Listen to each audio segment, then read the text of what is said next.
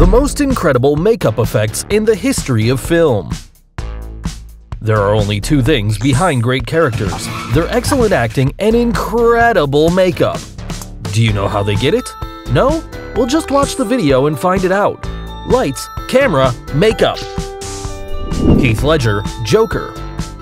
It is known that Joaquin Phoenix's performance as Joker was extraordinary, but when it comes to the makeup of this iconic villain, Heath Ledger is still the king. The artist John Caglione Jr. played a significant part in reinventing the most wanted villain in Gotham City, getting a scary look completely different from the comic in Batman The Dark Knight. I thought my jokes were bad. The Oscar nominee for his incredible makeup work explained that precision wasn't really his goal, but the organic, crazy look requested by Christopher Nolan, the director. This meant that the clown had to look like he hadn't removed the makeup in weeks and didn't fully cover the scars either.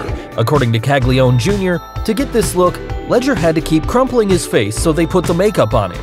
This is an old technique used in theater. The artist was also inspired by 20th century art, and Nolan himself provided a book full of abstract portraits by the painter Francis Bacon. However, Heath Ledger's talent stole the show and made everything work stupendously. Why so serious? Bonnie Aarons, The Nun. Although this is one of the most questionable franchise of The Conjuring, what is unquestionable is the amazing makeup work used to create The Nun. The face and deep green eyes of the beautiful actress Bonnie Aarons was so perfect that the makeup department could work for several hours on the personification of this diabolic character. The Nun is a Hollywood product, but this fact didn't stop the online community from creating its own makeup versions as scary as the original. What do you think? Jim Carrey, The Grinch. As it was about a character that people love hating, such as the Grinch, only Jim Carrey's charm was needed to play the role. Oh. Ah. Mmm. However, playing that grouch and green character was anything but easy. According to the actor, the makeover for How the Grinch Stole Christmas was a real torture. It took around 8 or 9 hours where Carrey was covered up with skin prosthesis full of stuffed toys fur that he used from head to toe. And if that were not enough, he also had to wear annoying yellow contact lenses. The actor felt like he was being buried alive and could have quit, but the Bee Gees music calmed him down.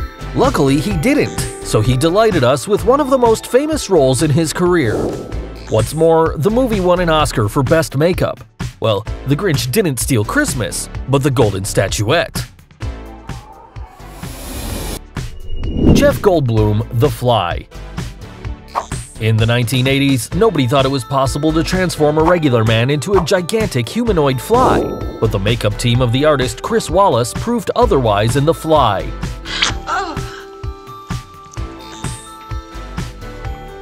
But not only that, he won an Oscar for his amazing work. You earned it, Chris. To get it, the team created the transformation look first, and from there they went backwards in the different stages of the change. Once they got the head design, the rest was easier. In addition, they put several fake skin spots on the actor and a secret food colorant substance to the disgusting fluids of the fly. The result was one of the most unbelievable, terrifying, and disgusting creatures ever made by Hollywood.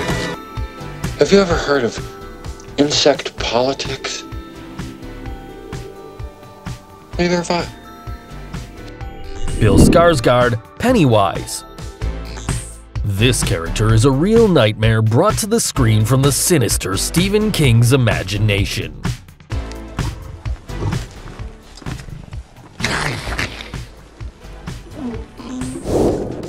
In order to give life to the latest adaptation of Pennywise, played by Bill Skarsgård, the legendary makeup artists Alec Gillis and Tom Woodruff Jr., already known for their work in the Alien franchise, said the director Andy Muschietti wanted Pennywise to look more like a child than a decrepit old man. Once they had the head sculpture done, they started forming the molds to know which one would work and which one wouldn't. The process continued with making rubber pieces, and it took around three hours to put them together on the actor. The artist said that Pennywise's transformation was one of the easiest works in their career. However, it was one of the most meticulous. Brad Pitt, Benjamin Button.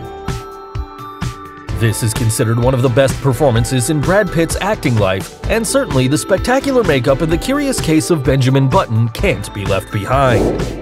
This movie is the perfect example of how the passing of time makes the body age, but in this case, in reverse. No need to be. There's nothing wrong with old age.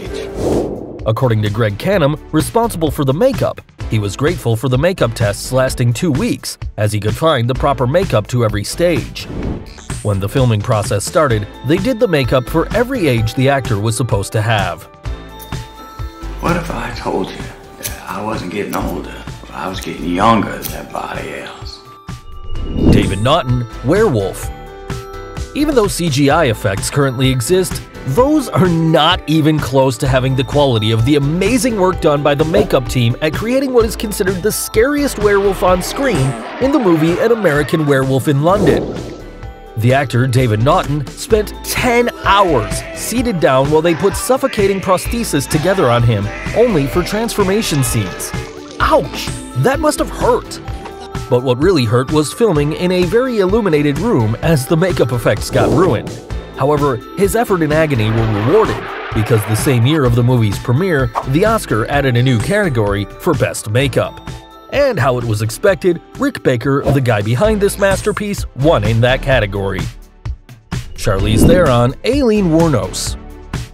To this day, critics and fans are still shocked by the way she turned into her, a prostitute becoming a serial killer, and this time the Hollywood's magic had nothing to do with it, but the great makeup work does. Transformation wasn't easy because the beautiful actress had to gain weight and shave her eyebrows entirely. In order to get such damaged skin, they spilled temporary tattoo ink on Charlize. In addition, they bleached the remaining parts of her eyebrows, so it matched with the rest of her face. But that wasn't the hardest part, because they also had to treat her hair to make it rough. Finally, she had to use a denture, so her teeth turned yellow. What was the final result? A completely different person. Rebecca Romijn, Mystique.